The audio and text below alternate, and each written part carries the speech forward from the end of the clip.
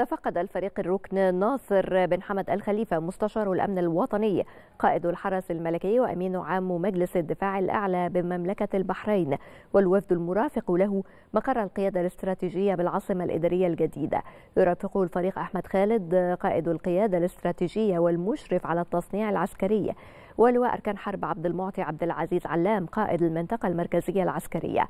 تضمنت الزيارة تفقد مركز تنسيق أعمال دفاع الدولة حيث استمع إلى عرض تقديمي لمكونات القيادة الاستراتيجية وما تضمه من جهات تخصصية ومنشآت تعليمية وإدارية. كما تفقد مركز السيطرة المتكامل لخدمات الطوارئ والسلامة العامة المزود بأحدث النظم التكنولوجية وآليات القيادة والسيطرة.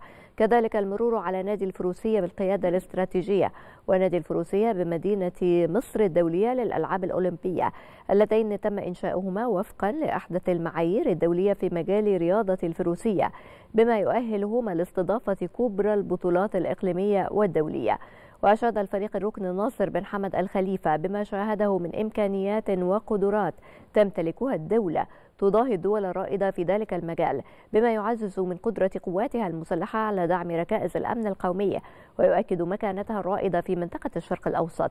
كما أعرب عن امتنانه لتلك الزيارة التي تعكس مدى علاقات التآخي بين البلدين الشقيقين.